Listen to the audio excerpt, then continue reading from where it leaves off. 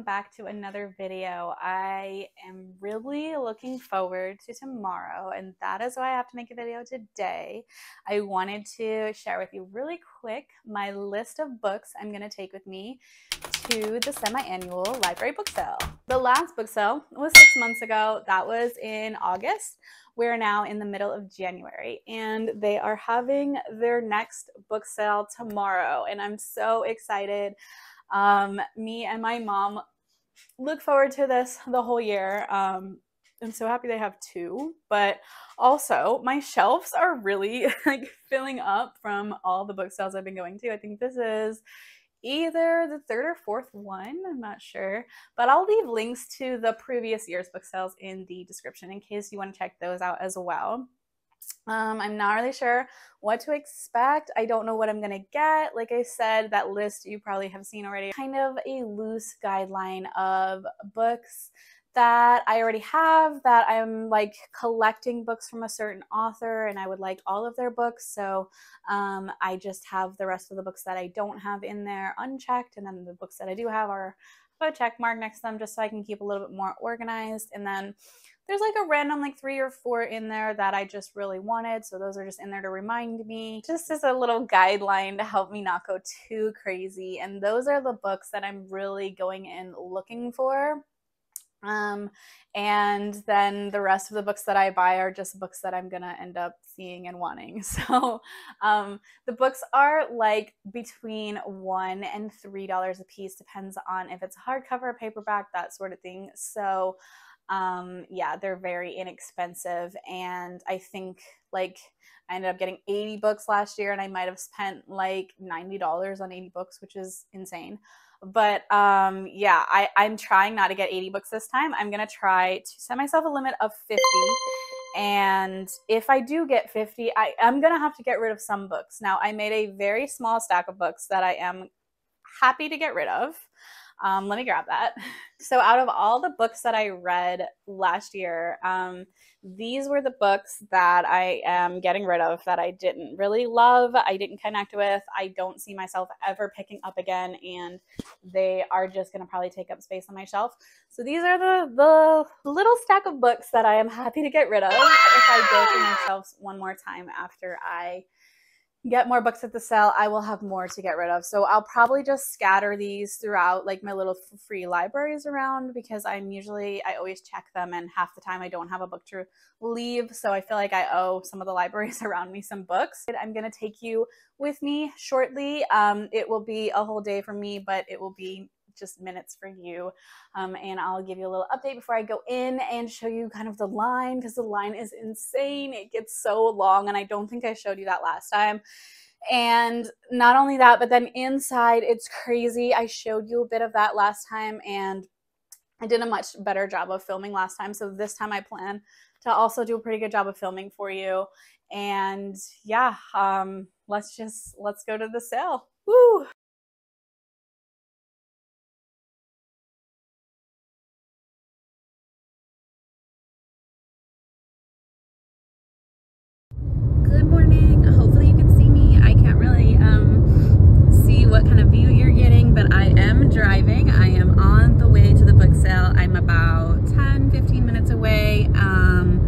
Book sale doesn't actually start for another hour, so we do have to wait in line. And I will show you that line because that's in intense. And I meant to show it to you last time, but I kind of forgot to actually film it. Um, so I'm gonna just try to get you some really good shots while we're in there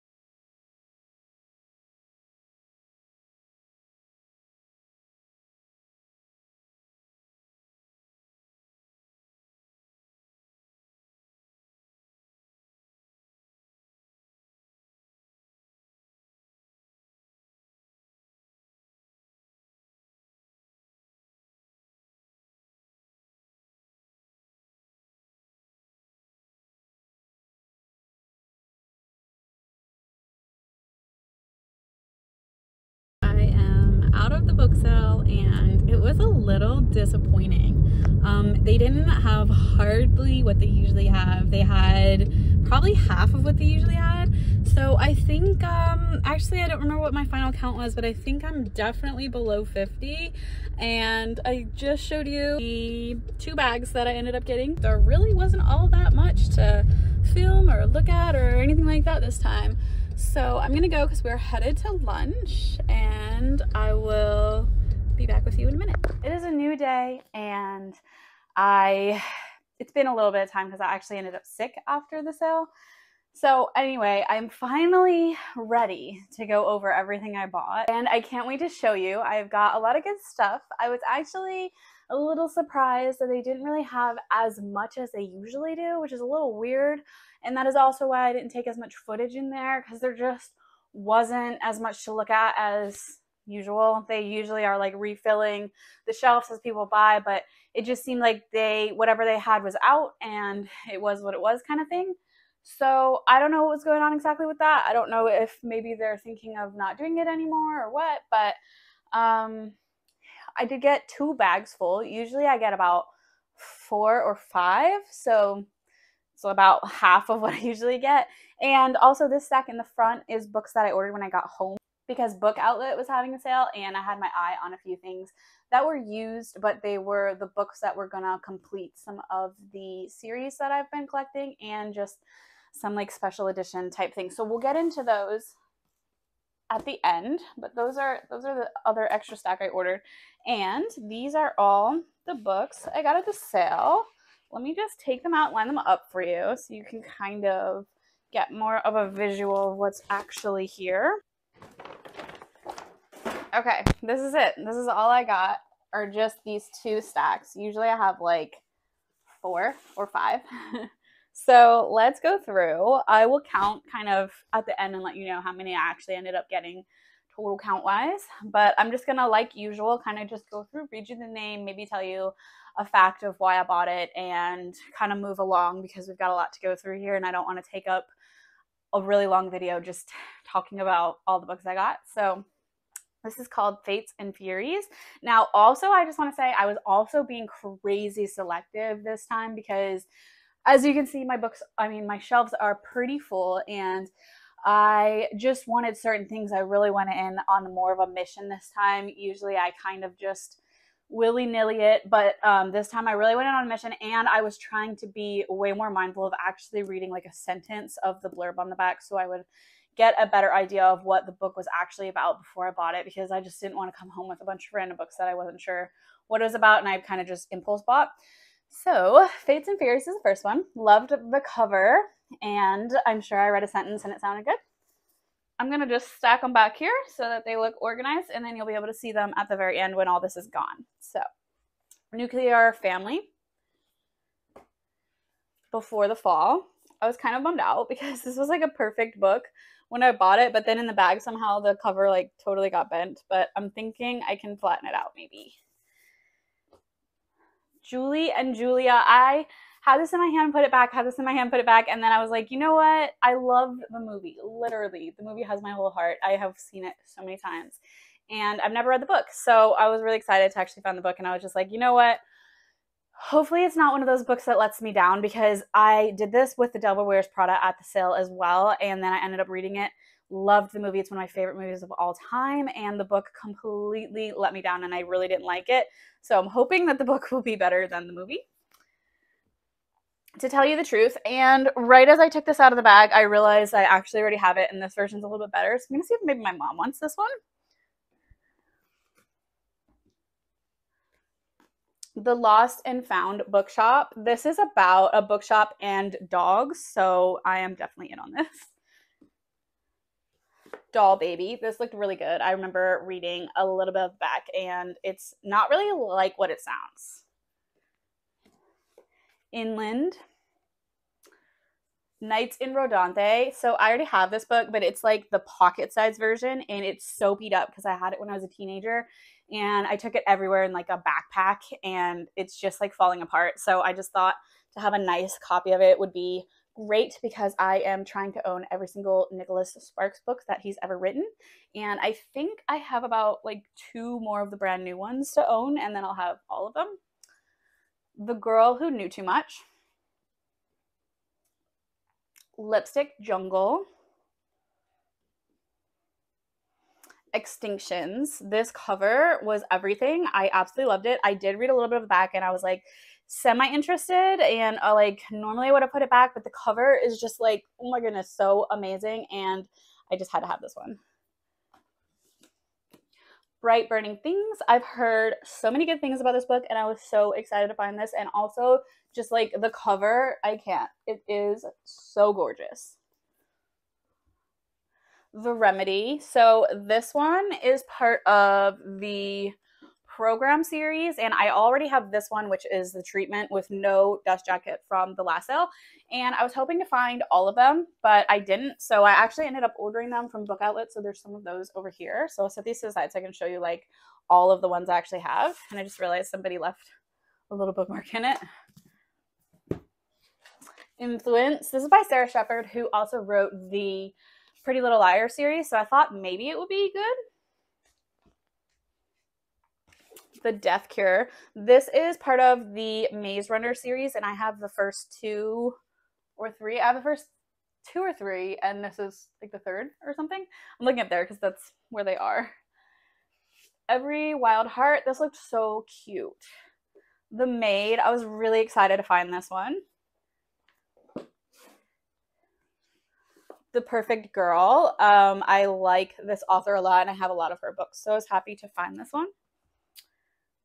Walk the Edge. This looked really good, and also the cover is just gorgeous.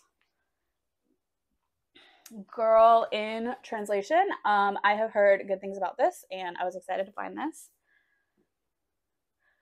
Peter Pan. Okay, guys, this is like my gem of the sale. Um, this is like a I don't I want to say vintage, but it's not vintage. It's like a new version of Peter Pan. It's got gold lettering, it's got gold on the spine, and it's like this beautiful dark blue. I don't even want to open all the way because it hasn't been cracked even in the slightest. So it is brand, brand new, and it is just the most gorgeous copy of Peter Pan. This right here was four books that I was specifically looking for at the sale because I read the first one, Dead Girls Don't Blog, in a video that is probably not out yet um, for you guys. it was my blind TBR video of December, and I loved it. And oh, spoiler, I loved it. Um, and I was really excited to hopefully find some of the series, but there's five books total, so I already have one. So I found all four of the books that are part of that series. And granted, guys, like I'm not spending a lot of money at the sale. They're literally $2 each. So I think I spent like a total of maybe $70 for all of these, which is amazing. So um yeah so i found the whole thing and i was really excited to have this. I'm definitely gonna hang on to this series like forever. The last Checkmate i was super excited to find this because this has been on my tbr oh my gosh so fun fact about this one the lager queen of minnesota. I had just saw on bookstagram somebody was posting about this thing it was really good and they had just read it and i was like wow that cover looks interesting and then i read what they had to say about reading it and I really was very intrigued and interested in it, and I had added it to my Goodreads TBR. Like, okay, maybe one day I'll, I'll get to it, and I just happened to find it, so I was really excited to find this one as well. The Husbands. This looked really good. It kind of reminded me of like ah, there's this movie. I can't think of the name right now, but I'll pop it on the screen for you. But it reminded me of that movie, and it just sounds really good. Lost Found and Forever, guys. How cute is this cover? Oh my gosh. This just had my whole heart, so I had to buy it. Started early, took my dog. Sounds amazing. Also, this is Kate Atkinson, who also wrote this book, Life After Life, which I am obsessed with the cover, and everyone says it's good, but I have yet to read it, so now I have two books by her. I'll Be Gone in the Dark. This looked really good. Um, it has an introduction, it says, by an author that I really like, so I thought that that would be interesting. The Queen's Gambit. This has been on my list forever, and I was actually really excited to find this one. This is everything got at the sale right here. And let's move on to the books that I got. At I got it between two websites. One is Book Outlet, and one was I don't know. I'll put it on the screen for you because it has a bunch of used books that are just like random that um like I would have never thought I would find them anywhere else, but I happened to find them there. So I was actually really excited to find them and they are in quite good condition even though they're used. So, first, of course, I have to tell you about is Harry Potter and the Philosopher's Stone. I got the special edition Ravenclaw because I feel like I would be in Ravenclaw and the sprayed edges like it's amazing. It's literally amazing. It has pictures and everything. And then um, when you open it, it's got blue on the spine. I love it. And it's just like a plain, nice black cover. Um, but I'm replacing my first book, my first hardcover, Philosopher's Stones, because I'm going to be using it for like a special project. And so I just figured why not get this? It was six dollars for this. I was really excited. It was used. There is like a little dent right here but you would never know because it's under the dust jacket so super stoked on that one. Then I got this one called Picture This, and I read Lost and Found recently, and I was obsessed with it. I just lent it to my mom, so I don't have it here because I really wanted her to read it. And um, the library doesn't have this book, and like I couldn't find it anywhere, so I ordered this online for $2 and I was so excited to get this. This, okay, I'll talk about this one in a minute, but these were the ones that I was telling you about. So I found the, these two, which is part of this series, at the book sale. And then I ordered these three, and I'm missing one um, that I will eventually order, but it's like $20 right now, so I'm not really trying to spend that on one book. So I think I paid like two to $3 for each one of these. And I was really excited about that because I have loved this series since I was a teenager and I've been really wanting to reread it, but I didn't want to reread it till I could reread and annotate because these are going to be my personal collection forever. So now I have the start of them, and the only one I'm missing is the last book in the series. So I can do all of them besides that one, and then hopefully once I get there, it will go down a little bit in price. So I'm really excited have pretty much the whole series. And they're in really great condition because I bought them used. Then this one, um, I splurged. I got Shark Heart because I've been dying to have this. The cover is amazing. The story sounds amazing. Everyone that reads it is freaking out over it, and I've been dying to read it. And I just really wanted to have my own copy, so I splurged and I spent five dollars on this. But um, I think it was a it was a five dollars well spent. Then I got Immortality and Anatomy, a love story. I got both of them. They are so gorgeous. I've always wanted to have them, and they were on sale. I think they were um five dollars each, so I also splurged on these two. But I was really excited to get these. I'm sorry, there's a page that's bent and it's freaking me out. Okay, it's okay. Um, so I can't wait to get to these soon. And I threw this one in here because my cousin, who's also my best friend, um, actually bought me this for Christmas. And I just got it a couple of weeks ago because she shipped it. So we don't live in the same state. So I was excited to have this. Also, like, just the cover is gorgeous and the color is amazing. So happy about that. And then um, these two, I got these two because I really wanted to own Little Women. And then I saw this is a gorgeous, gorgeous edition. And I was like, I have to have this. It was six dollars. This was also six dollars. I've never read Sense and Sensibility. Always wanted to, never read it. Read what it was about on Goodreads, and I was like, wow, that sounds amazing actually. And I would love to own it because the pink just goes with this perfect and they're just perfect. They're going to be with my little Peter Pan book that I just showed you, and they're going to be my little special edition, like classic books. So I'm really excited about these. Then I got this book, Padawan. I have to add to my Star Wars collection.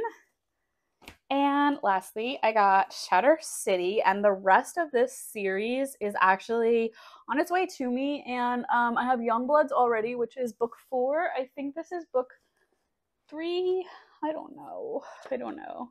But um, it's part of the Ugly series, which I'm not sure if you can see. You can probably see.